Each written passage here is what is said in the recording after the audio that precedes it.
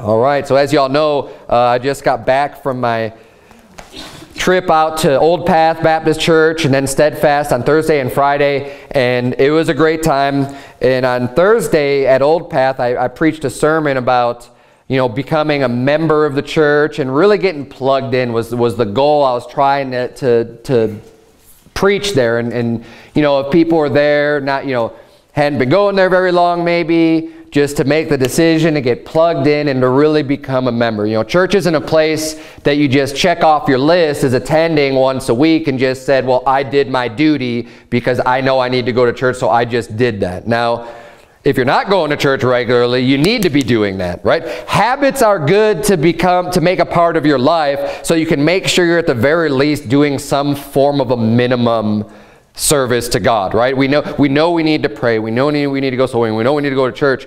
And but we don't want to have happen is just fall into some routine where that just what well, we just have to go to church, check it off, okay, done.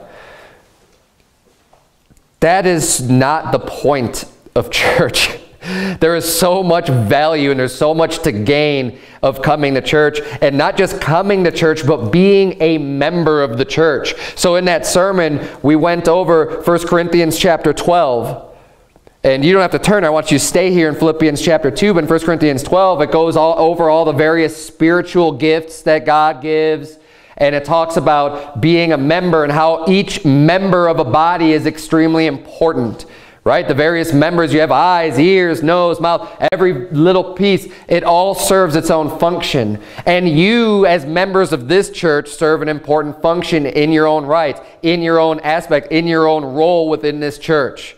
Every member is important for the entire body to do great things, for the entire body to be at full strength and to serve the Lord completely. There, you know, we see people who are handicapped, people who have one leg, you know, they can do work, but it's a lot harder and they're not going to get as much work done. It's just a fact of life. They can't get as much done, especially in physical areas, doing things as other people because they have limitations. Well, when we have you know, members of our church that aren't really members, or people that just show up and aren't really being a member and saying, hey, here I am, here's a gift I have, here's some service I can do to contribute to the whole body, you know, and, and you, you may think it's just some small thing, but it's not. Every small thing is very important as a collective. We have a whole group here. We have a full body, and we need to be able to use all of our resources to get as much done as possible. And when, and when we have members that are, that are lame, right, that aren't really doing anything. It's going to be more of a hindrance than anything. We want, we want to, to get the members involved and then get plugged in, get plugged into the common goals of the church. And I'm not saying we have that problem here. I'm just saying that it's very important and we need to understand that church is a family. It's a body. It's not just a place that you attend, hear a little bit of preaching, sing a couple songs, and go home. At least that's not what this, this church is about. That's not who we are here. We actually have a body here. This is the body of Christ, body of born-again believers. And, and we do have a common goal. There is something that we're working for here. And I'm going to read for you from Ephesians 4.11. I use this all the time. I, I use this when I'm going out soul winning and I want to explain the importance of coming to church. Ephesians 4:11 says, And he gave some apostles and some prophets and some evangelists and some pastors and teachers for the perfecting of the saints, for the work of the ministry, for the edifying of the body of Christ. There's many reasons why we need to go to church. And then he goes on and says that we henceforth be no more children, tossed to and fro, so we need to be learning in church. But what I want to point out here, because I don't want to repreach that entire sermon, but it, excuse me, it fits in to what I'm preaching about this morning. There's more, I'm basically doing kind of a combination of both sermons a little bit that I preached at Old Path and Steadfast. But coming to church, what God gave pastors, God gave teachers in order to for the perfecting of the saints to help make you more complete to help make you more um, fulfilled in doing the work of christ. It says for the work of the ministry and ministering is is doing work for other people right? God gave uh, uh, pastors and teachers and evangelists for the work of the ministry and for the edifying of the body of christ. This is the body.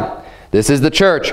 And we are here to help build you up and strengthen you and to edify you to do more. And this church is a church that works. We are looking to work. We need to strengthen our church family. We want this body, this body of Christ that we have right here, to be a strong body. We want to be able to do as much as possible. We need to be working out all of our members in order to be strengthened to have a strong church family. Now, I issued a challenge, if you're not aware of this, to Steadfast Baptist Church.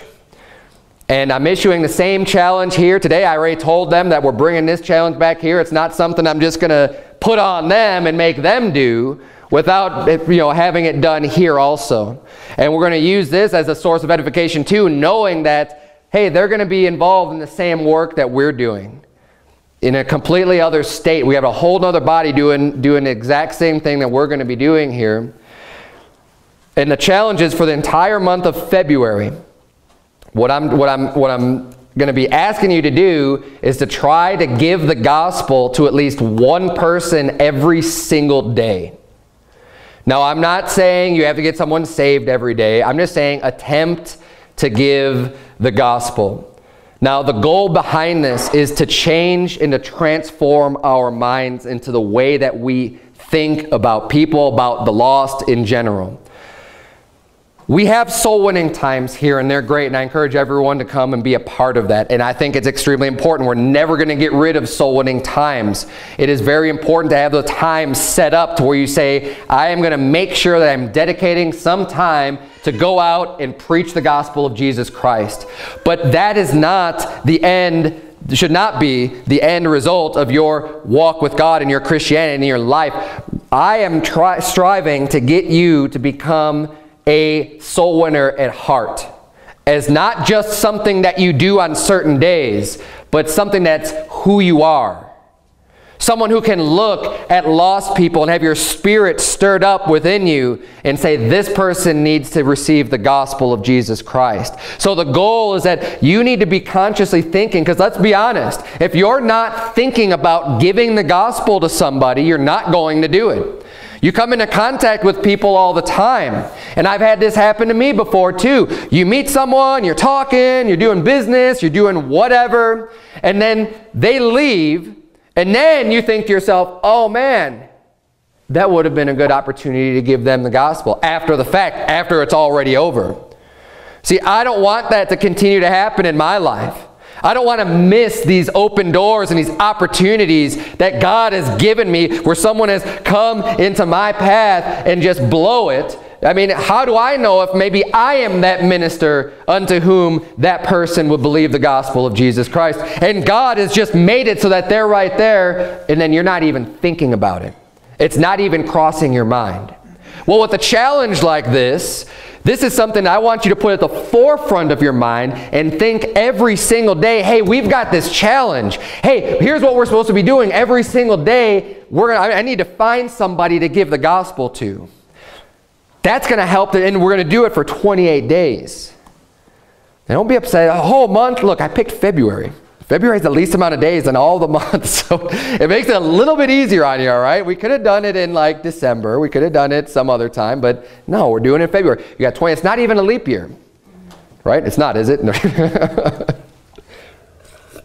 no, it's an odd year. It's definitely not a leap year. So 28 days, and what we need to be doing is looking and finding and making opportunities to approach somebody and at least ask them, hey, do you know 100% for sure if you die today that you're going to heaven? And my challenge is, I believe it's pretty light because I'm not even challenging you to have to go through the entire gospel with somebody.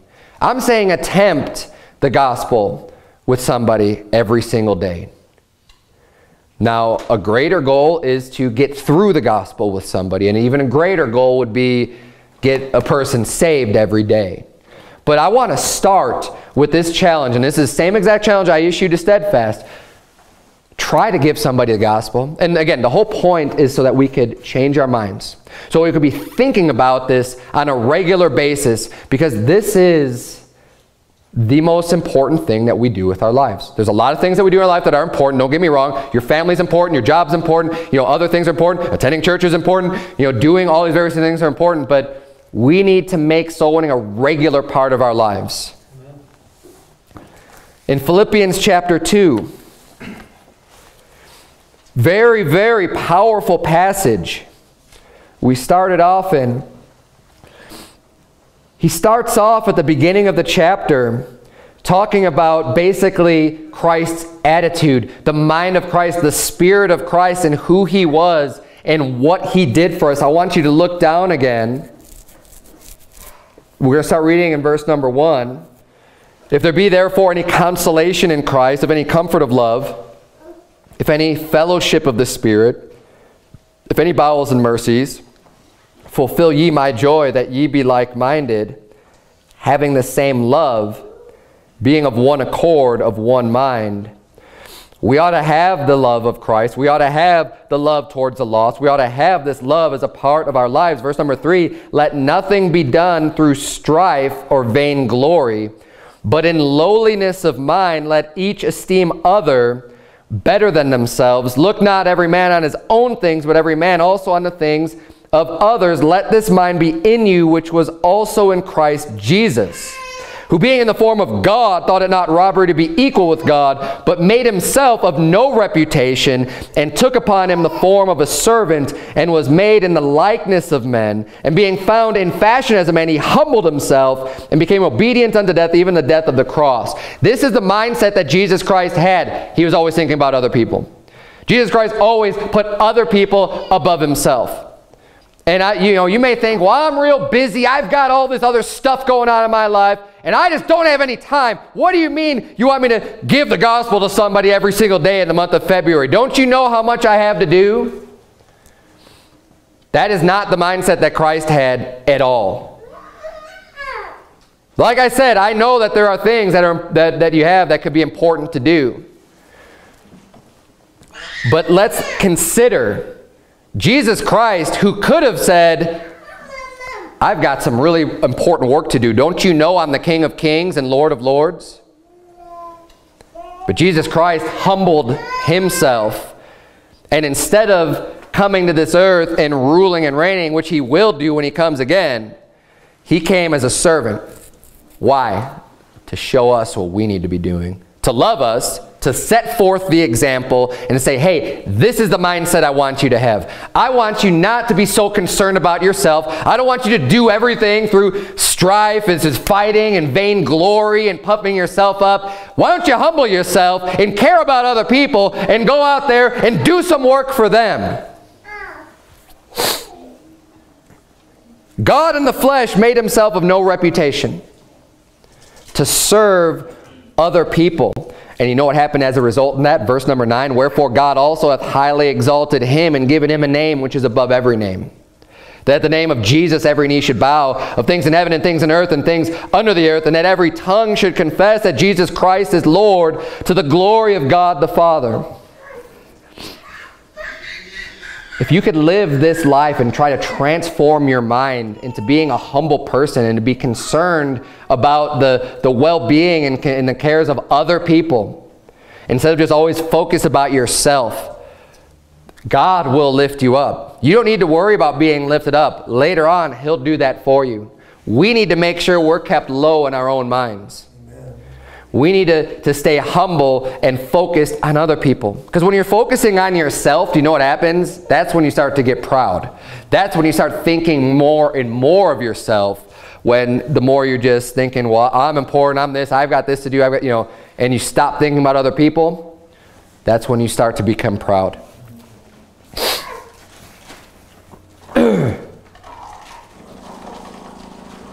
Let's see, there's one other point I wanted to make from this chapter. I don't have any of this in my notes. Um, look at verse 14.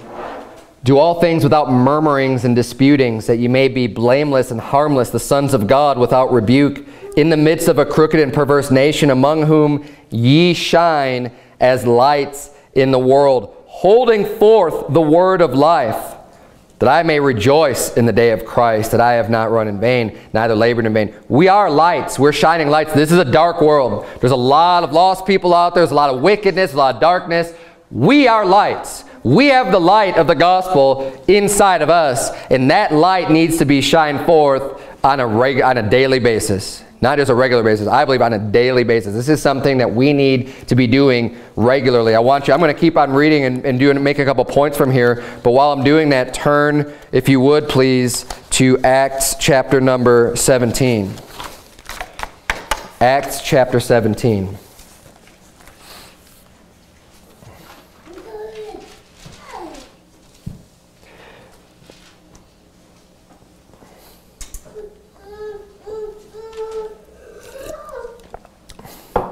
In the rest of this chapter, the Apostle Paul goes on to, to mention a few people. He mentions Timotheus, who he's sending. He says, um, But I trust in the Lord Jesus to send Timotheus shortly unto you, that I also may be of good comfort when I know your state. Why? Because the Apostle Paul cared about the people at Philippi, about the church at Philippi. He cared about them. And he cared about them enough to send somebody, say, hey, go check on them. I'm sending Timotheus. He's someone I could, eh, is a faithful servant, someone I could trust, someone I love, someone who's a fellow laborer with me to go out and check up on you guys. And I need, I want to be comforted knowing how you're doing. Because Paul's praying for them. He cares about them to write for them. He's esteeming the people of Philippi better than himself in his efforts and his ministry and service towards them. And he's sending other people who are like-minded. He says in verse 20, For I have no man like-minded who will naturally care for your state. For all seek their own, not the things which are Jesus Christ's. And think about that. These people, the church of Philippi, they belong to Jesus Christ. He said everyone else is just seeking their own. They just care about their own life. They're not focused on the things that are Jesus's. And when you focus on things that Jesus is like he is here, the church at Philippi is Jesus Christ. He says in verse 22, But ye know the proof of him that as a son with the Father he hath served with me in the gospel. He's talking about Timotheus who he's sending to them. He's saying, You know that this is a good man. You know that he's just like me in his uh, ministry and his work with the gospel. And then he goes on and talks about Epaphroditus who is sick and how he cared about the church of Philippi also. And he cared about him so much that um, you know, he wants to make him know that he's okay. But um, what's interesting about him is that re he reveals in verse number 30, he says, Because for the work of Christ he was nigh unto death, not regarding his life to supply your lack of service toward me. Epaphroditus was a man who cared about the things of God and the things of Christ so much and had this mindset in him that esteemed other better than himself that he was willing to put his life on the line and came very close to dying through the work of Christ. It says, because for the work of Christ he was nigh unto death. So he was willing to work and work and work to the point of whatever happened here. We don't know exactly the specifics on what happened, whether he was being persecuted, whether people you know, were, were trying to kill him. We don't know. Or whether it was just his health. He, he had worked so hard that he had, he had gotten to the point of exhaustion. I don't know what it is. But he is, the point is that his mindset was on other people's and helping other people to get um, to receive the benefit. And specifically, he was, it seemed that he was um, supplying the lack of the church at Philippi towards the Apostle Paul, and he was helping out the Apostle Paul. So um, this is the mindset that we need to have, and this is a mindset we need to have going forward. You're in Acts chapter 17. This is, we're going to see many examples in the book of Acts. There are many examples. I'm not going to turn to them all today. But you see how the book of Acts is all about soul winning. It's all about turning the world upside down with the doctrine. It's all about doing the work of Christ. Look at verse number 1 of Acts chapter 17. The Bible reads, Now when they had passed through Amphipolis and Apollonia, they came to Thessalonica, where was a synagogue of the Jews. And Paul, as his manner was, went in unto them, and three Sabbath days reasoned with them out of the Scriptures, opening and alleging that Christ must needs have suffered and risen again from the dead, and that this Jesus whom I preach unto you is Christ. And some of them believed and consorted with Paul and Silas, and, and, and, of the devout Greeks, a great multitude, of the chief women, not a few. Paul, as his manner was, went into them, it says in verse number 2. That was his manner. That's just the way he was. You see someone, you see the Apostle Paul, And he's out there, he's disputing with the Jews. He's telling that Jesus is the Christ. Oh yeah, there's Paul. That's what Paul does. That defines the Apostle Paul. He's someone that you, you could go look around. Where's Paul at? Oh, he's probably over there giving the gospel to somebody. That's how his manner was. There's no reason why your manner can't and shouldn't be the same exact way. Have that manner. Say, if you say, tell me a little bit about brother so-and-so, tell me a little bit about brother Sebastian, tell me a little bit about brother Robert, tell me a little about Pastor Berzenzer, tell me a little about uh, you know any of you know any of the women in the church. Doesn't matter. you know, you know, sisters, anybody. Let me know about those people. Well, we know what their manners like. What, what are their manners? What is their manner like? They, they like to give the gospel. They're out soul winning all the time. They love other people. They esteem other people better themselves. They're a true servant. They're a minister at heart. This is the way that Paul's manner was. And he ended up accomplishing probably more than just about any other Christian that's ever lived that we, that we have recorded, and it's definitely in the scripture. He's done so much for the cause of Christ. Jump down to verse number 15 here in Acts chapter 17. Oh, and one other point, I don't think I made this when I was talking about the church and being a church member. In, in, in uh, 1 Corinthians chapter 12, you know what one gift that's not mentioned there is preaching the gospel. You don't need a special gift to preach the gospel. That is not something that God gives to some people and not to others. Preaching the gospel is, is a commandment. It's something that we are all supposed to do. The, the ministry of reconciliation is committed unto all believers. That is all of our jobs. Now, you may have different obstacles to overcome that will help you to do that better. There's, there's skills you could learn. There's, you know, there's definitely a lot to, to make yourself a better soul winner. But the job has been given to all of us, and it's not something that you can say, oh, I don't have that gift. Well, nobody has that gift because that's not a gift that's given. It's something that we're all supposed to do. So don't think that there's, oh, this church, well, these people are soul winners and these people are not. No, everybody should be a soul winner. You have various gifts according to what God's given you. None of those is, uh, is a soul winning gift. If somebody's, if you find someone that's really good at soul winning, it's because they worked at it. It's because they put forth a lot of effort. It's because they study their Bible. It's because they're, they're studying to show themselves approved unto God.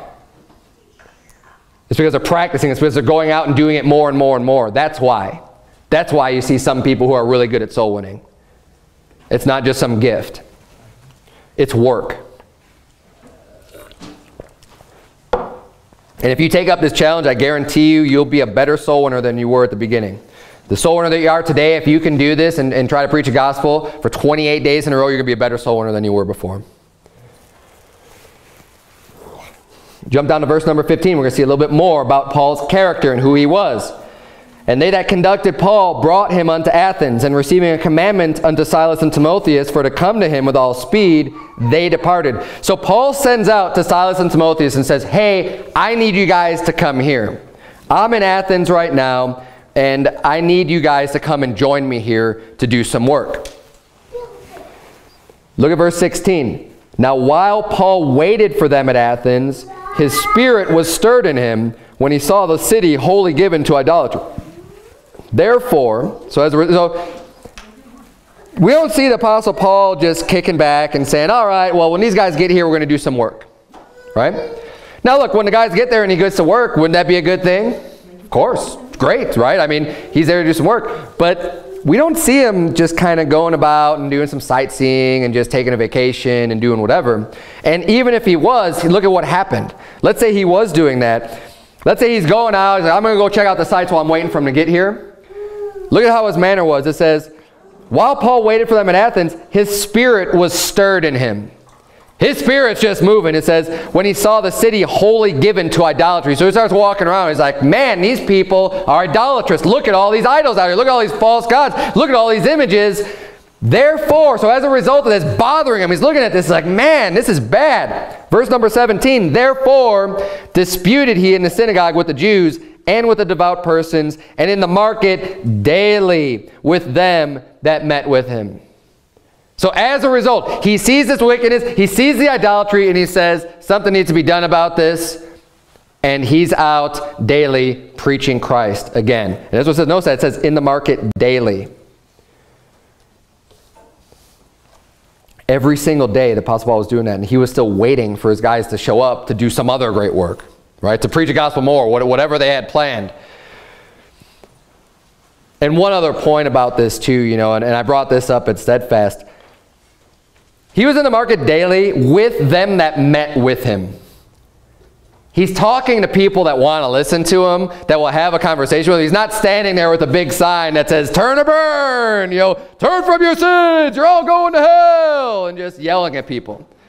He met with people in the market daily. And why in the market? Because there's a lot of people there. Because there's people conducting business, there's people going shopping, doing all this stuff back and forth. There's a lot of people there. So he has the opportunity to reach a lot of people in one place. And we need to get and see, I want, I want you, in order to, to accomplish this goal, in order to fulfill this being a regular soul, because the Apostle Paul was a soul winner at heart. His spirit was stirred within him, and he says, these people need the gospel. They need to hear about Jesus. He didn't just fall back onto the one method of knocking on doors. And look, I'm not bashing door knocking. We're going to do it. We're going to continue to do it. We're going to do it until I cease to be pastor of this church and hopefully beyond that. I don't know. But that is going to be a method that's never going to quit. It's a biblical method. However, that is should not be the only way that you preach the gospel. You can't just think, well, if I need to preach the gospel, I need to just go out and knock on doors. No, you don't have to do that. And if you're going to be preaching the gospel every single day, like this challenge is, it's going to be harder to go out and knock on doors. It's a lot easier to just find somebody and to stop. And I'll tell you about the, the challenge. And the reason why I even thought about doing this challenge is because, you know, obviously I needed to prepare a sermon that I was going to preach at Steadfast. And since I've never been there before, I've never been the Old Path before either, but I know Brother Donnie really well. Even I were real good friends while he was attending Faithful Word. We were both there as just church members, but we have very kindred spirits. You know, neither one of us was a pastor at the time or anything like that. We just loved God. We, you know, we loved the church, and, and we were good friends. And he came to me with a challenge, and he issued me a challenge of saying, hey, let's, let's try to get one person saved every day for a week. And I thought that was really good. And you know, you know something about that challenge? It made me really uncomfortable. You get to a point where you just get real comfortable, right? You've got your routine. You go to church, show up to soul winning time, read my Bible, and everything's going good. But when you start to get too comfortable, watch out. You're going to start to backslide. You start getting real comfortable, you let things slide a little bit. Well, I'm still doing pretty good. And before you know it, you're going backwards and backwards and backwards, and the speed accelerates the more you go. The Christian life is not one of comfort. When, when, the, when the man asked Jesus Christ, hey, I want to follow you wherever you go, what did Jesus tell him? He says, look, the foxes have dens, you know, and the, and the birds have nests. He says, but the Son of Man has not where to lay his head. He said, I, I don't even have a home. You want to follow me, great, but, but understand what you're getting into. You want to be a disciple of Christ, you want to be a follower of Christ, it's not going to be comfortable. It's not comfortable not to have a home, to be going around all over the place and sleeping out and, you know, and, and wherever, wherever you find place, whether it's in someone's house or not, what, you know, that's not comfortable. It's comfortable to have a home place to go to. It's comfortable to have everything set up. It's comfortable to have a nice soft bed and a fluffy pillow and a heater. That's comfortable. Doing the work that Jesus has to do is not comfortable. And you know what? Sometimes we need to just push ourselves. And these challenges like this are great. I, when, when, he said that to me, I just thought, I'm like, man, this is, this is awesome. Is it uncomfortable? Yeah, it is, because you know what? Now it's going to make me do all this extra work. I'm already have a family, already working full time. I'm already doing what I'm doing for church. But this pushed me that much more. Now, I'll be honest with you, I didn't accomplish the challenge. I didn't get somebody saved every single day. There was actually, I think, even one day where I didn't, I didn't give the gospel to anybody. But you know what? More people got saved during that week that wouldn't have gotten saved otherwise. Because I did get somebody saved. He got people saved. You know, like, like we did go out and put forth the effort. And it was very edifying towards each other. And this is a great example of just, you know, another reason why church is so important and coming to church and making these friendships because Pastor Anderson didn't even know anything about this. I mean, this was just something between us and the church. To do more, to push ourselves more, to just to, to do this work. You're not going to get that, you know, and people who are listening online that aren't going to a church anywhere. I don't, I don't address the internet very often, uh, if, if ever. It's probably the first time. You know, you don't understand what you're missing by not being in a church. It's not just the preaching. There's way more to church than just listening to a pastor preach. If you're listening to sermons online, you are not in church. You can learn a great deal. There's, there's nothing wrong with it. We post them online for a reason. But there is so much more to a church than just the preaching. The church is the entire body. The pastor is just one member of that body. You're missing out on the whole body when you're not in church. So we had this challenge, and, and that's what, what really, st it stuck out my head for a long time. I mean, even to this day, that was, I don't know how many years ago when we both did that. But this is the reason why I decided to say, hey, let's have another challenge because it's motivating. Now, is it going to make you uncomfortable? I hope so. I don't want you to get too comfortable. I want to be able to keep pushing forward. I want to see how much we can do. But as I said there, I'm going to say it here again. I don't like preaching about failure. I don't think that you're going to fail. I don't think there's any reason to fail. I don't think you should even have it in your mind that you're going to fail. But I'm going to tell you this from the beginning. If you miss a day for whatever reason, don't miss a day. If you miss a day for whatever reason, don't just stop then and say, well, the whole month is ruined. Don't do it. Stick with the spirit of what we're trying to do here. There's a bigger goal than just the, again, it's not just a, a checkbox. Receive the goal, the spirit of what we're trying to accomplish as a church by, by trying to preach the gospel, of changing our minds to the way that we think about people that we come in contact with on a regular basis and just look at them and say, hey, this person probably needs to hear the gospel so we don't miss opportunities so that we're not just letting everything go. Jesus provides a great example with the woman at the well. We're not going to turn there. But Jesus Christ himself, when he was weary, the Bible says weary and he sat down and his disciples went off to go get some food and, and he, was, he was exhausted from his travels. But even at his exhaustion, even at the end of a long day's work, he still didn't just stop soul winning. He saw somebody that needed to hear the gospel and he thought about them. See, it's easy, especially when you get tired, we get weary, to say, I'm too tired. I don't want to go out. I just worked a long day at work. I need to rest. People still need to hear the gospel. Jesus Christ gives us that example. He was wearied. He sat himself down and got into the situation where there was the Samaritan woman that came. And of all people, right, a Samaritan woman. At least back then, according to the Jews, they looked down on the Samaritans. They, they didn't have anything to do with them. They viewed them as, as lesser people, but Jesus said, even while I was weary, gave her the gospel. And what happened with her? The, again, a great example. She gets saved. What's the first thing she does? She drops her bucket, forgets about the work that she was there to do to begin with, to go and draw some water from the well, and goes out and leads people to Christ, saying, hey, I, I talked to this man here. Isn't this who we're looking for? Isn't this the Messiah? Isn't this the Christ? He told me all things that ever I did. Isn't this him?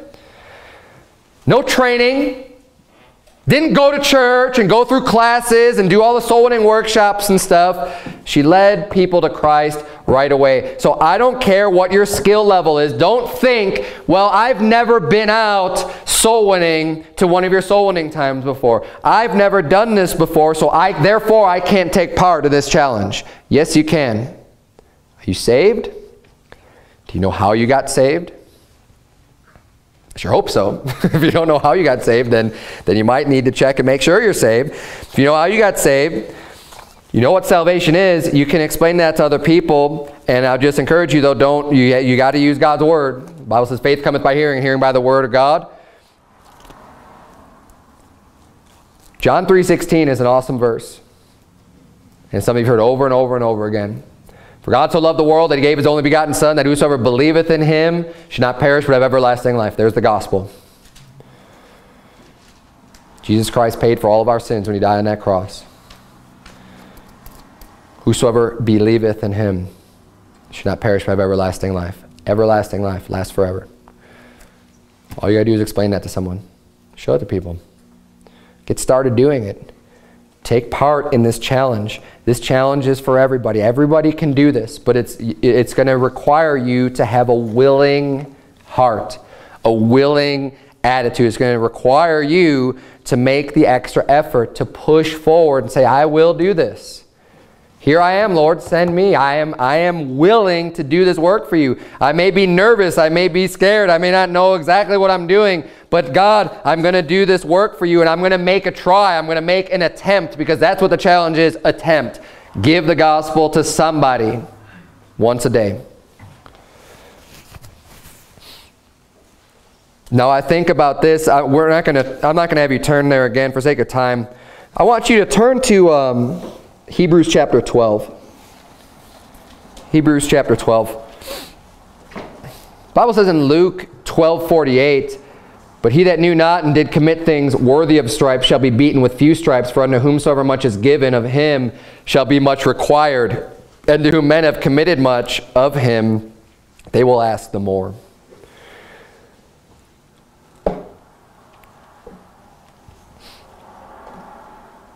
The more opportunities you have, the better surroundings you have, the better church you have, the better teachers you have, the, the more you have God's word at your fingertips, the, you know, the, the more that you have given to you, the more God's going to require of you.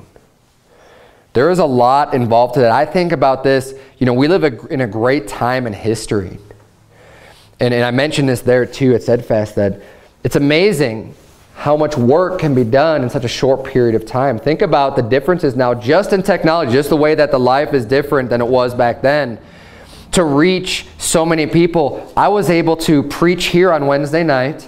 I was able to preach in San Antonio, Texas on Thursday night, and I was able to preach in Fort Worth, Texas on Friday night. I was able to go out soul winning on Saturday in Fort Worth and be back here and preach this morning in Prescott Valley, Arizona. Do you know how long that would have taken to accomplish just what, what I accomplished for the Apostle Paul? I mean, it would, it would have taken an extreme amount of time, right? It's a different world we live in. We have so many advances. We have the technology, the video, the stuff. You know, we could reach masses and multitudes of people that they probably never dreamed was ever going to be possible. Because we have the ability to do these things, God has now placed a greater burden on us. He says, okay, you've been given all this stuff, now use it. Now I'm requiring more of you. We need to make sure that we can meet and, and use the tools that we have available and not just get comfortable and, and not use any of it or just use it for our entertainment and pleasure as opposed to doing a work for Jesus Christ. Hebrews chapter 12 is a, it should be an encouraging verse, encouraging pas passage for those of you that are still unsure about this challenge and think it's difficult and think, I don't know if I can do this.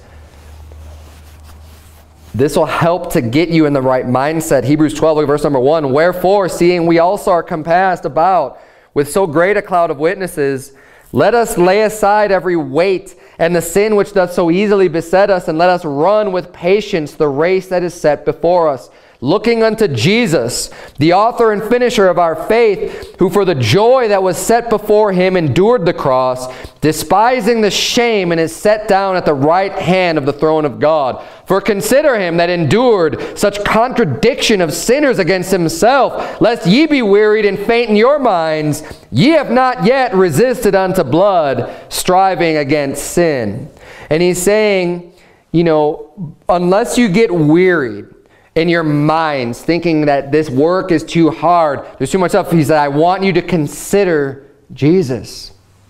the author and finisher of our faith. Think about him and what he did. Think about how he endured such contradiction of sinners against himself. What that must have been like for God in the flesh, for the perfect human being to be faced with all these sinners and to love them enough that, that, yeah, us sinners, we rightfully deserve a punishment. We rightfully deserve to be crucified on that cross and for our souls to go to hell. That's what we deserve because we're sinners. But Jesus Christ endured all that because he loved us.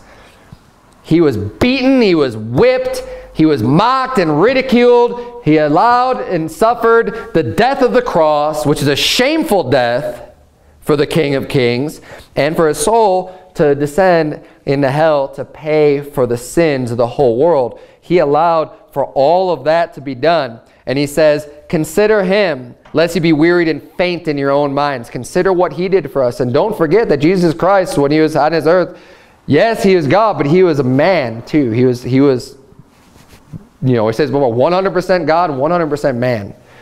It's difficult to wrap our minds around that, but he was in the flesh and he had limitations that a man has. And that's why we can go to him boldly because we don't have a high priest that hasn't been tempted like we are. The Bible says that he is tempted in all points like, like as, as we are, yet without sin. He knows what it's like to be a human being. He had the physical limitations put upon him, the weariness. He was wearied when he walked, when he did his work. He wasn't a superman, you know, like the superhero that just doesn't get tired.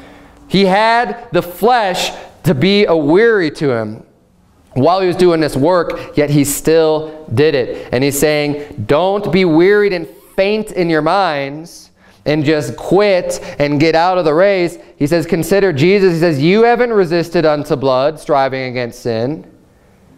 And I know no one here has resisted unto blood for the cause of Christ, striving against sin.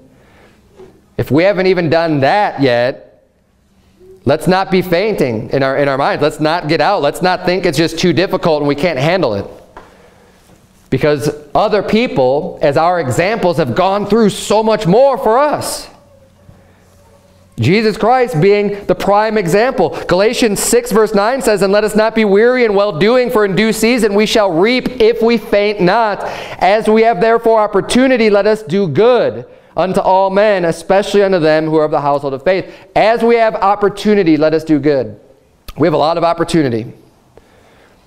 We live in an area, there's people all over the place. There's a lot of opportunity.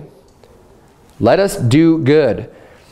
Let us not be weary. Being weary is a choice. I mean, physically you could be wearied, but mentally you can continue. You can choose to keep going. Acts chapter 5. Turn to Acts chapter 5. It's the last place I'm going to have you turn this morning. Acts chapter 5. Very famous passage in Acts chapter 5 there at the end of the chapter.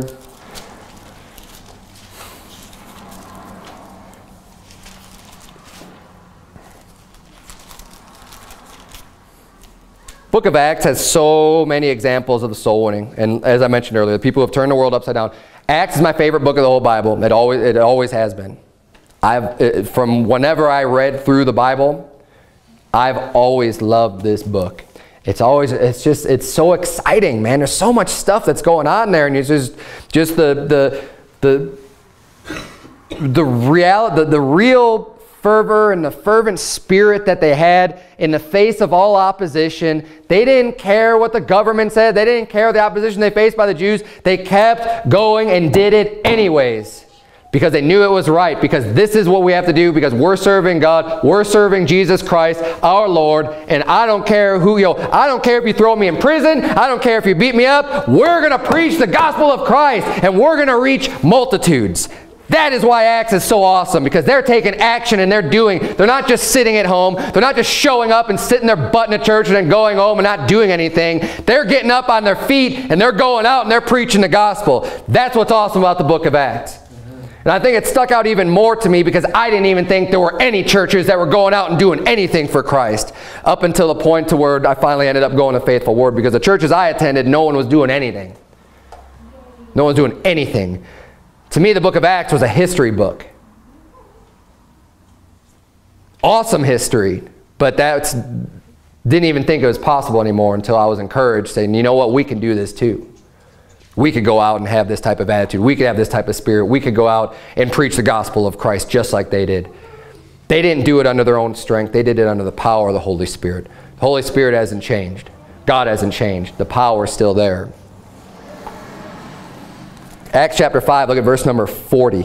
The Bible reads, And to him they agreed, and when they had called the apostles and beaten them, they commanded that they should not speak in the name of Jesus and let them go. And they departed from the presence of the council, rejoicing that they were counted worthy to suffer shame for his name. And daily in the temple and in every house they ceased not to teach and preach Jesus Christ. That last verse hear over and over again because it's a soul-winning verse. It daily, again, daily, right? That's our goal. That's our challenge. Daily in the month of February.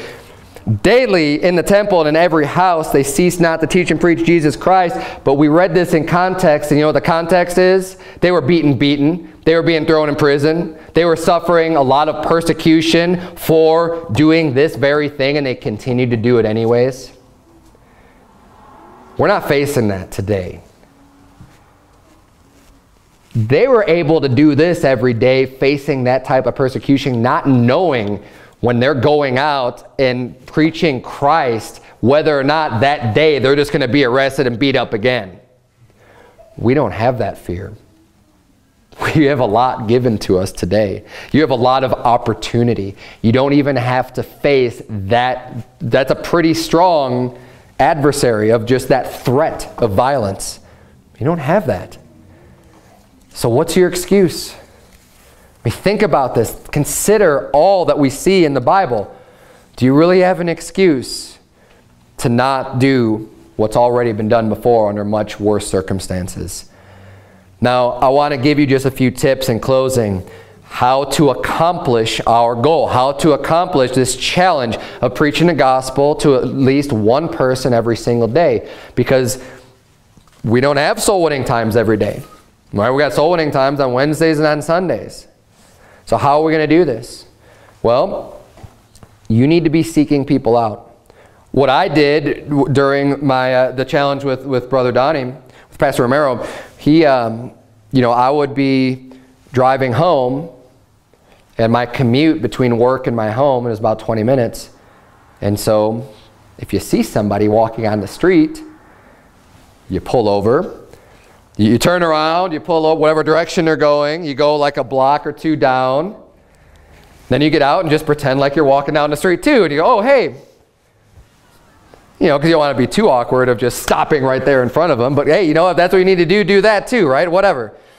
I would be a little bit, a little bit more, um, you know, nonchalant about it and, and kind of go up and say, oh, hey, doesn't matter. You see people out. Uh, what I'm going to be doing, because I'll tell you what, this is, this is a challenge for me, and it's not going to be necessarily easy for me to do either. I work a full-time job. And, I, and I'll challenge you, if you say, I'm too busy to do this, come and compare your schedule with me. Anyone who thinks that they're too busy to, to, to do this challenge, come and compare your schedule with me, and we'll see if you're too busy. Okay? But for I, I drive down to, to Phoenix and back twice a week. Three and a half hours round trip driving. And most of that, I'm not seeing anybody out on the street because it's almost all freeway. Okay? But what I'm going to be doing is I need to get gas for that trip. So my plan is I'm going to hang out at the gas station until I see somebody that I could approach and give the gospel to. That's not hard. Especially because when I'm on my way home, I'm going to be coming back. You know, 8 o'clock, 9 o'clock. Plenty of people still out at that point. It's not like it's 1 or 2 in the morning. You need to be able to, to find an opportunity. You don't always have to knock doors. Hey, if you want to knock doors, knock doors. Go to a mall. Go to a shopping store. Go to Walmart. There's always people in Walmart. Walmart's open all the time. You say, the only time I have is at 3 in the morning. Go to Walmart. And if there's no shoppers, talk to the, to the cashier. Okay? They're, they're, they're, the opportunity is there. Or how about this? Because you got a lot of days to do this. Why not call an old friend? Why don't you call a relative? Talk to someone you haven't talked to in a long time. Call them up and give them the gospel. Do it over the phone. But give the go try to give the gospel to one person every single day. I mean, we do, we do a lot of things. There's a lot of people out in this town. It's a small town, but there's plenty of people you just have to have it conscious in your mind that you are going to do this and that you care about the child and you say, you know, I'm going to do this. And, and, and make it something you're thinking about. You're thinking about it, you could do it. Let's bow our have a word of prayer. Dear Heavenly Father, Lord, we thank you so much for the encouragement that we can receive through all the great stories in the Bible, dear Lord, for the men of God that have done so much for you, for, that, have, that have worked so hard, that had this mindset of serving others, dear Lord, and not just worried about themselves and, and how comfortable they can get. Lord, I know this is, this is going to be uncomfortable for our church, but I pray that you please help us all to find the strength to, to do this and to, um, and to push ourselves to do more for you, dear Lord. In Jesus' name we pray. Amen.